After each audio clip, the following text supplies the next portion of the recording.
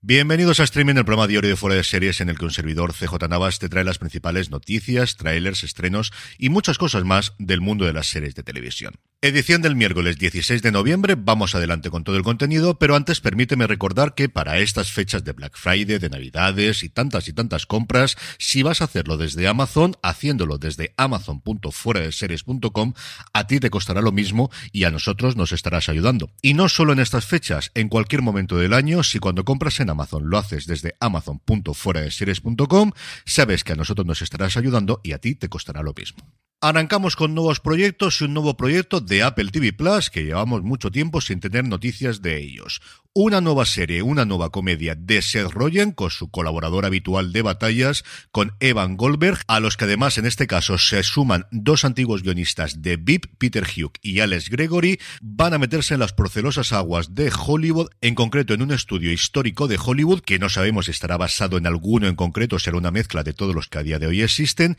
que intenta sobrevivir en un mundo en el que cada vez es más difícil conjugar arte y comercio. La serie no tiene título a día de hoy, además de estar coescrita, estará también dirigida y protagonizada por el propio Seth Rogen.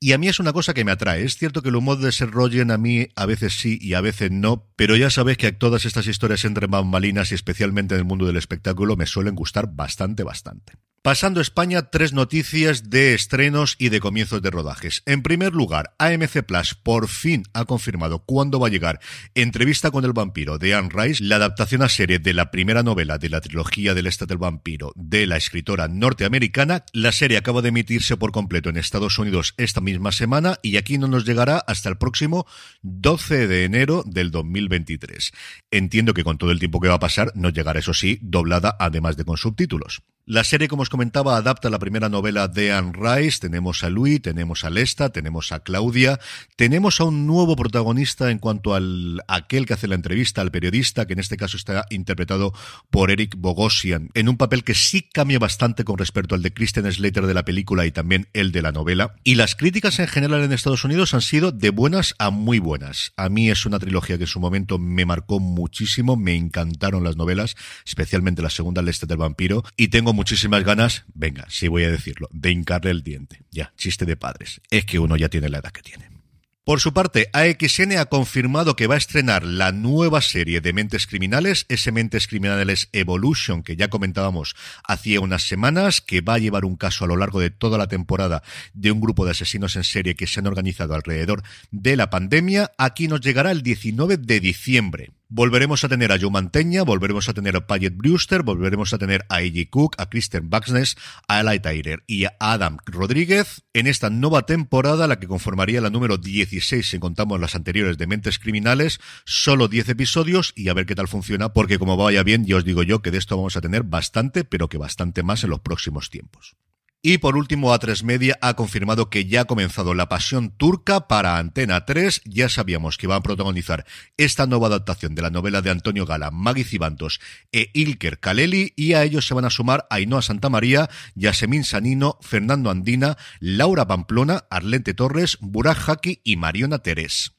La producción a cargo de A3 Media Televisión en colaboración con Buen Día Estudios, como os comentaba, ya ha comenzado rodando en Turquía, posteriormente volverá a España, una serie dirigida por Iñaki Peña Fiel que yo entiendo que veremos a lo largo del primer semestre del año que viene. Y en el apartado internacional, dos noticias de Estados Unidos como mínimo curiosas. Por un lado, Disney ha decidido aprovechar el fin de semana del Día de Acción de Gracias para estrenar los dos primeros episodios de Andor en Hulu, en Freeform, en FX y también en su cadena en abierto en ABC. Las críticas de la serie están siendo sencillamente magníficas, no solamente las mías, que ya sé que os estoy cansando diciendo lo buena que es, pero es que de verdad es así de buena. Y como os digo, van a estrenar los dos primeros episodios en todas estas plataformas y cadenas, de los tres que, como recordaréis, formaban el primer bloque de episodios de Andor, que está dividido prácticamente en bloques de tres, con alguno por ahí por en medio perdido, el próximo día 23, que es cuando se emitirá en Disney Plus, tanto en Estados Unidos como aquí en España, el último episodio de la primera temporada, el decimosegundo episodio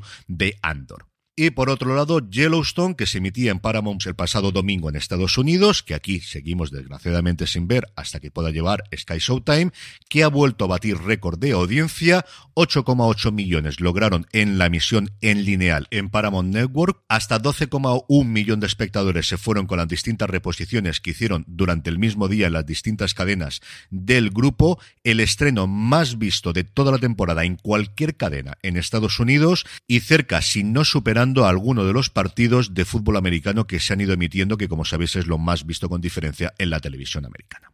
Y todo esto sin tener los derechos de streaming en Estados Unidos porque los vendieron la antigua guardia a Peacock y no pueden aprovechar el exitazo que tiene la televisión en lineal para poder emitirlos simultáneamente en streaming, cosa que tiene que estar cabreando una barbaridad al nuevo régimen desde luego de Paramount Plus. En cuanto a trailers, Apple TV Plus ha presentado el de la segunda temporada de Little America, esta serie antológica basada en historias reales publicadas en Epic Magazine y que en esta segunda temporada contará con las actuaciones de gente como Kim Hong Lee, Alan S. Kim o Felicia Rashad. Es una serie que creo que en su primera temporada quedó bastante desapercibida y tenía algún que otro episodio bastante pero que bastante bueno. Por su parte, Prime Video ya ha mostrado dos minutitos de lo que nos espera en la nueva temporada de la que se vecina, la temporada número 13, con esta mudanza al centro de Madrid, a la calle Contubierno 49, pues lo que podéis esperar de la que se vecina. Aquellos que os guste este tipo de humor y que os gusten los personajes, estáis de enhorabuena, sabéis que la serie llega a España dentro de nada, el próximo 18 de noviembre. Y también en Prime Video no me puedo resistir a comentar, aunque esto desde luego sería Don Carlos el que tendría que comentarlo,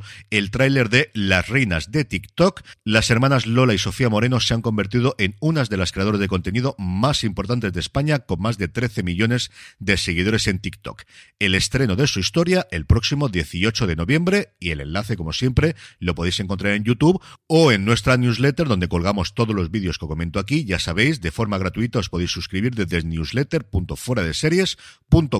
en cuanto a estrenos, hoy una cosa curiosa porque tenemos la segunda temporada en Netflix de Alguien está mintiendo y en Disney Plus una serie llamada Tell Me Lies, que hombre, no es lo mismo que Sagrada Familia y La Sagrada Familia, la serie de Manolo Caro y el documental de David Trueba sobre los Puyol Ferrusola, pero no me digáis que no tiene eso aquel que coincida alguien está mintiendo con Tell Me Lies. Sobre esta última, deciros que es una serie que sigue la relación a lo largo de ocho años de Lucy Albright, interpretada por Grace Van Patten, y Stephen DeMarco, interpretado por Jason Wade, desde que se conocen en el campus de la universidad y ese enredo lleva a mayores a lo largo del tiempo. Y el otro estreno de Disney Plus, pues nos demuestra con que estemos en noviembre y estamos en plena época navideña, porque es Vaya Familia Klaus, la continuación en forma de serie de la película que en su momento interpretó Tim Allen, que vuelve a interpretar a Papá Noel, un Papá Noel que está ya cansado de sus labores y que quiere replantearse su papel como Santa Claus y también como padre. Y terminamos como siempre con la buena noticia del día y es que AXN, para celebrar el vigésimo aniversario de la que para mí es la mejor serie de todos los tiempos, de SHIELD, al margen de la ley, desde el próximo 1 de diciembre va a poner disponible en AXN Now, su plataforma de vídeo bajo demanda, todos y cada uno de los episodios de las seis temporadas de esta absolutamente maravillosa serie. Para aquellos que la disfrutamos y la sufrimos en su día y sobre todo para aquellos que todavía no hayáis podido verla, que en vídeos tengo, la tenéis como os digo disponible a partir del 1 de diciembre y sí, han pasado 20 años, pero de verdad que no defrauda. Qué ganas de volver a Farmington, qué ganas de volver a ver a Big Mackey, a todo el resto de sinvergüenzas, y estos sí que lo son de verdad, que forman parte del Strike Team, al resto de personajes que vemos en la comisaría, a esa Glenn Close, a ese Forrest Whitaker, a tantos y tantos. De verdad, si nunca habéis visto The Shield, no sabéis lo que se estáis perdiendo. Y con esto concluimos el streaming de hoy. Recordad para vuestras compras en Black Friday y en Cyber Monday, en Navidades, amazon.fueradeseries.com, a ti te costará lo mismo. Y a nosotros nos estarás ayudando. Gracias por escucharme, volvemos mañana y recordad, tened muchísimo cuidado y fuera.